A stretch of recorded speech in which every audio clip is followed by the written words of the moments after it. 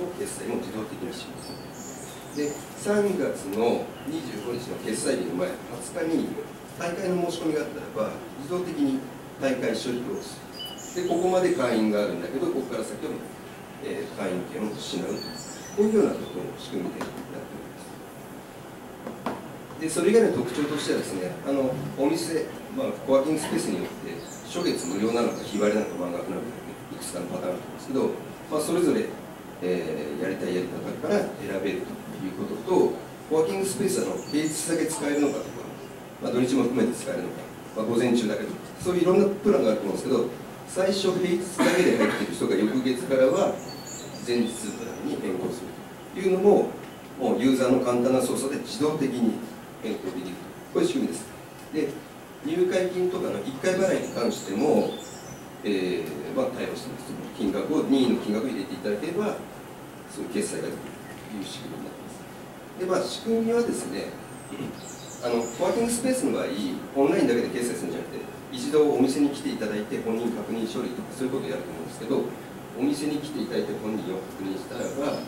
えー、まあお客様のスマートフォン決済していただいて、まあ、入館証を紙の独自の入館証を交付する。そういうような仕組みでやっていただければと思います。一度お店で本人確認書をして申し込めばあとは自動で決済するという仕組みです。でちょっと簡単にこの画面を見ていただければと思うんですけどここから見せる画面はお客様がご自分のスマートフォンでする画面操作になります。でまずお店に来て案内された時にこれあのつくさんの画面を使わせていただきますが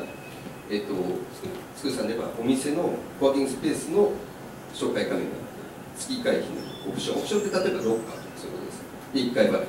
ていうのがあって、えー、ここ月会費を選ぶ場合スクールさんの場合この3つのプランなんですね。でそのうちどれを選ぶかっていうのを選ぶ。でそれぞれの料金があって契約条件の縛りとか利用条件というのがあってここで、まあ、申し込みを一度やります。でそれをあれを先ほどのボタンを押すとメールが飛んできてさらに必要な会員情報です。でここではあまり細かい情報入れません。あの面倒くさいというようなご意見もありますので最低限の情報を入れますで、えー、もう一度購入前に内容を確認して申し込む、まあ、あのそこで先ほどお伝えしたとおりこれも先ほどのでも申し込みに対するプラン変更する場合とか、えー、会員証定する場合っていうのもお客様のスマートフォンで簡単に見せることができます。であの当たり前ですけど、まあ、日々お客様が入ったとか決済したとか大会したとかそういうような情報は日々なり月次なりでまあ、こういうような形で、え、メールで管理者様にお届けするというような仕組みを持っています。でお客様の個々の情報っていうのも月次でちゃんと、え、その会員のお客様が、まあ、どういうステータスなのかっていうのも、えー、ご連絡する仕組み。最後、まあ、こんな値段なんですけど値段の話はちょっといいですあのもしよろしければ、まあ、これからこういう仕組みが導入されるということをお考え,、えー、お考えことがあれば、まあ、ちょっとこれお声をかけていただければと思います。はい、すいません、ちょっとお時間かかりました。ありがとうございます。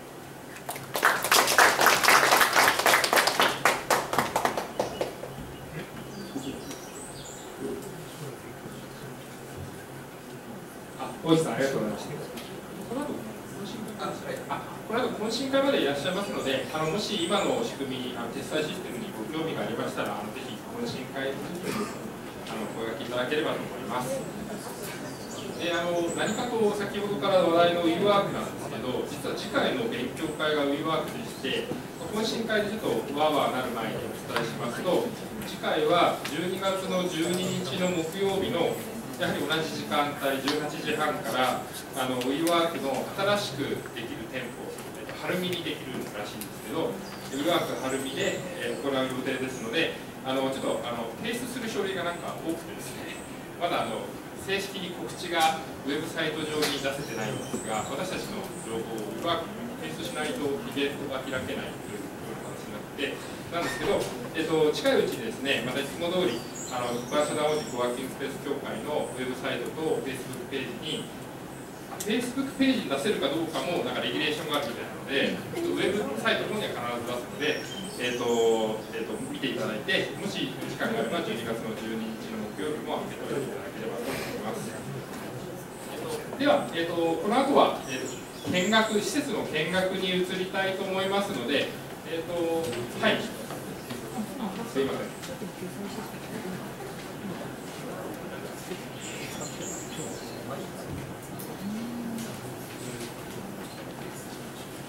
はい、お待たせしました。じゃあ、見学に移りたいと思います。今日何人ですか？今日はですね、今パッと見て30人ちょっとです。35人。3グループに分けたいと思います。10人ちょっとぐらいですかね。で、案内を担当するのは私と、あと、えー、外務の小野さん、小野さんどこにいらっしゃいますか。はいはいはいはい。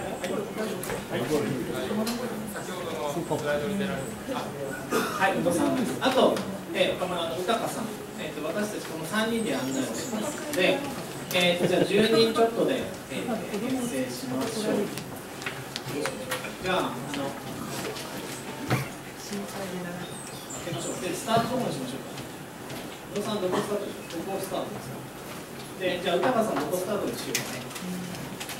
固定式の方僕はどこからスタートしようか。ワイヤーとなってます。で、えっと、なんですか。